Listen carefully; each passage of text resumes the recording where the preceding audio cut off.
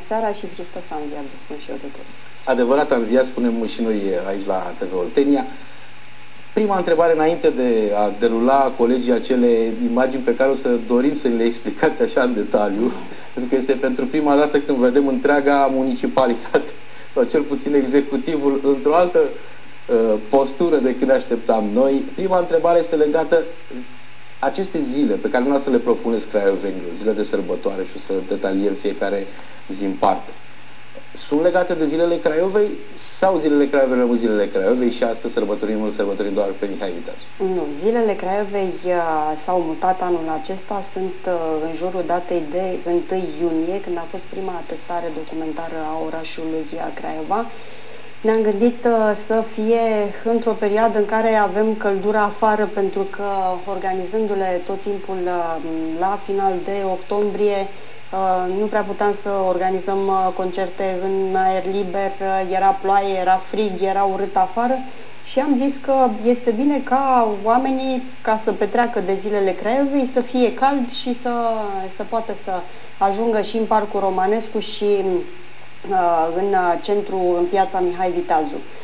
Uh, de asemenea, ne-am gândit să, să avem uh, anul acesta prima ediție a zilelor uh, Mihai Viteazu, pe care am pus-o în jurul datei de 9-10 mai. Asta pentru că în acea perioadă, acum câteva sute bune de ani în urmă, Mihai Vitazul a bătut pe Ieremia Movilă și a fost uh, practic uh, prima uniune a țărilor uh, române.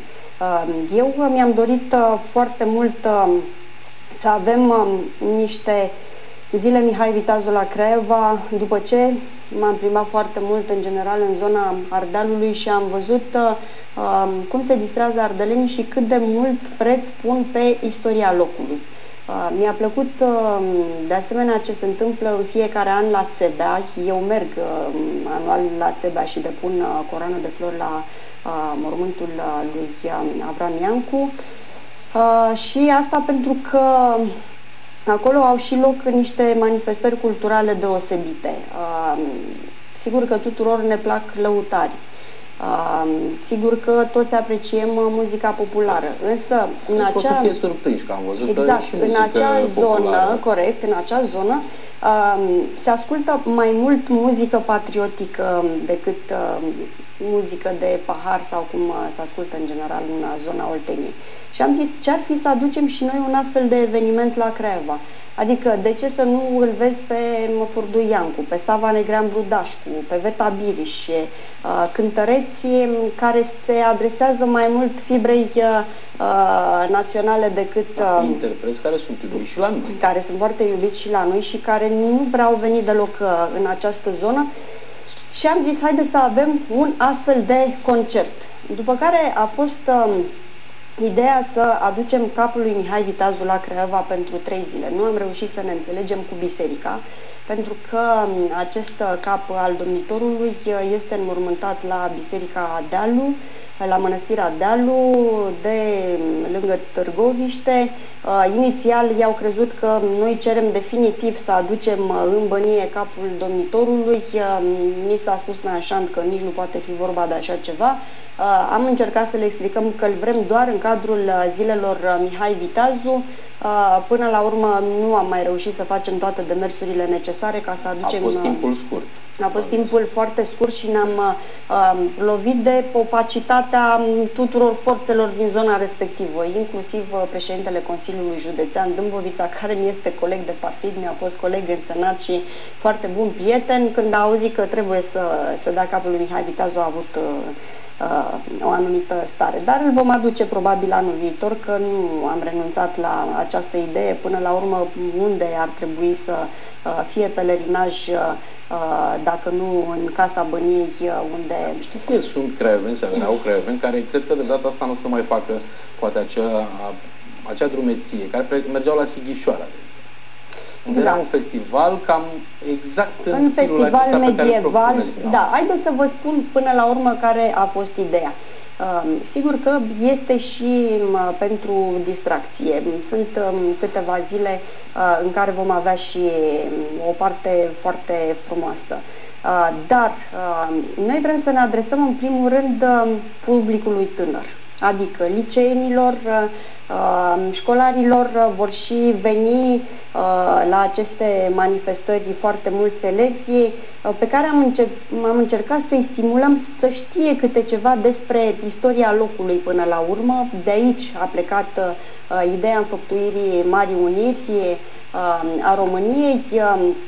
De aici a plecat uh, Mihai Viteazu, sigur că el a fost și bănișor de Mehedinții, uh, s-a născut uh, și într-un alt județ, dar practic de aici a plecat el uh, ca și om politic uh, de primă mărime.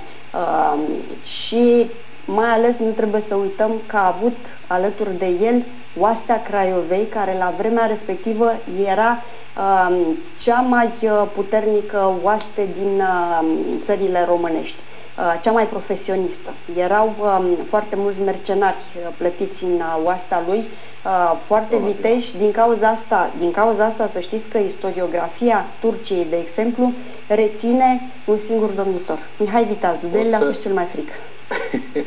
o să vă rugăm, da, aveți și din spiritul lui Nicolae Viteazu, că sunt mulți, inclusiv dintre miniștri care au spus că le este teamă de dumneavoastră.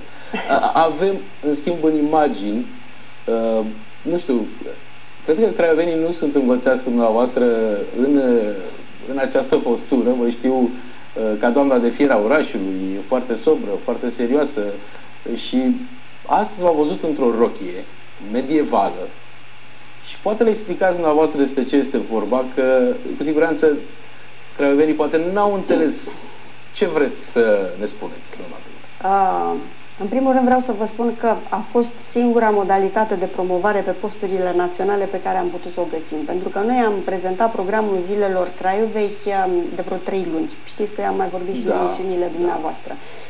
A făcut colega mea, Cristina Calangiu, o conferință de presă săptămâna trecută pentru zilele Mihai Viteazu. La fel a fost preluat așa, parțial, prin presă. Ne-am dat seama, vorbind cu foarte mulți cunoscuți, că nu știu ce se întâmplă la Craiova în perioada următoare. Și a zis, va trebui să găsim o, o variantă de a ieși puțin din decor, de a crea un pic de scandal, dacă vreți, în jurul acestui... Da, bun, asta cu, cu scandalul, da. Da, în jurul acestui eveniment, ca să afle uh, populația Craiovei ce îi se pregătește, ca să spun așa. Vom o avea să vă duminică, mai așa? Că văd da. acolo și pe doamna o să mă vadă, O să mă vadă duminică așa, unde eu sper să văd foarte mulți craioveni așa. De ce? Pentru că este prima oară când organizăm la Craiova un carnaval medieval cu costume de epocă. Până acum, într-adevăr, numai la Sighișoara se uh, organiza așa ceva și am mai făcut Sibiul în perioada când au fost uh, capitală culturală uh, europeană. Sunt foarte gustate de public uh, aceste carnavaluri. Știu că veneau uh, din foarte multe orașe ale țării uh, ca să participe la um, aceste festivaluri. Măcar să le vadă dacă nu se costumau exact, și ei. M-a spus exact. și craioveni care uh, plecau la Sighișoara. La Sighișoara este, ei sunt ceva mai avansați, având în vedere că de ani de zile organizează organizează asemenea evenimente, în sensul că poți să te duci să-ți închiriezi de undeva un astfel de costum ca să poți să apar la acest carnaval costumat. Da, acum întrebare pentru dumneavoastră că dacă craiovenii care au un costum pot să vină costumați? Da, absolut, absolut. Asta este și ideea până la urmă să atragem cât mai mulți uh, craioveni în centrul orașului și ce am vrut noi să facem și uh, am și um, discutat deja prin uh, școli și liceele din Craiova că vom premia costumul care este cel mai apropiat de epoca respectivă. Și acum sunt foarte mulți liceeni care își creează aceste costume pentru că vor să, să participe la uh, această paradă. Va avea loc și o paradă, o să vă explic imediat despre ce este vorba, pentru că sunt într-adevăr foarte multe evenimente Chiar uh, zilele acestea, da. Trei zile avem, uh, de mâine încep. De mâine, de mâine încep, mâine va fi un simpozion uh, Mihai Viteazu și Bănia uh, la Muzeul de Istorie și Arheologie, Muzeul um, Olteniei. Um, am vrut să fie un alt fel de seminar. De ce? Uh, orele de istorie, ne spun cu toții, sunt plictisitoare. Vorbești de la data cu tare s-a bătut Mihai Viteazu cu Sinan Pașa și a rupt dinții și cam aici se oprește manualul de istorie. Uh, nu se știu foarte multe lucruri despre epoca respectivă uh, și eu vă mărturisesc că am început să citesc mai mult uh, și să aflu mai multe după ce am avut o discuție cu uh, maestru Tudor Gheorghe, pentru că împreună ne-a venit ideea să organizăm uh, uh zilele Mihai Vitazu la Craiova, când el a spus, da, da, ce nu se știe despre Mihai Vitazu este că el era în primul rând un om de salon. Adică îi plăcea să asculte muzică, să se, se distreze în... Era acceptat în marile cancelarii. Era, exact. Exact, și acolo participa la asemenea A fost până la urmă și un, și un foarte bun diplomat, Mihai Vitazu. Uh, adică vom afla și alte, să spunem, acea istorie nescrisă. Exact. Asta încercăm, asta încercăm în cadrul acestui seminar, să fie lucruri despre Mihai Viteazu care nu s-au scris în manualul de istorie și așa sperăm noi să, să atragem tânăra generație către uh, istorie. Să știți că deja, doamnele și domnișoarele, mă întreabă de unde v-ați luat rochița. de la Teatrul Liric. Uh, ne ajută foarte mult uh, Teatrul Liric uh, în um, aceste manifestări. O să spun imediat despre ce este vorba și acolo. Vom avea de asemenea tot mâine la Casa Băniei o expoziție cu tema Mihai Viteazu și Bănia. S-au descoperit lunile trecute, ne-a spus că e mană cerească până la urmă, monezi de pe vremea lui Mihai Viteazu la Bulzești. E, nu se poate. Da, foarte aproape de Creava. Câteva luni înainte. Exact, da, câteva, da, da. câteva um, sute de de monezi din uh, epoca respectivă care nu au fost văzute până acum de mare, marele public. Noi am fi vrut sigur să avem uh, capul lui Mihai Vitazu. Anul acesta nu s-a putut. Uh, iată că până la urmă Dumnezeu s-a uitat către noi și ne-a dat posibilitatea să venim cu ceva